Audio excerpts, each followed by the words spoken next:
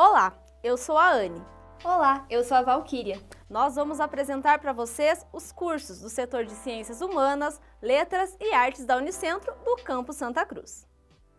Curso de Licenciatura em Arte. O curso visa habilitar profissionais para atuarem na docência, na produção e na pesquisa em arte. Forma profissionais que disseminam a educação, principalmente no campo artístico, como a expressão pessoal de valores, sentimentos e significações, que propiciam o desenvolvimento da consciência estética, de atitudes mais harmoniosas e equilibradas perante o mundo.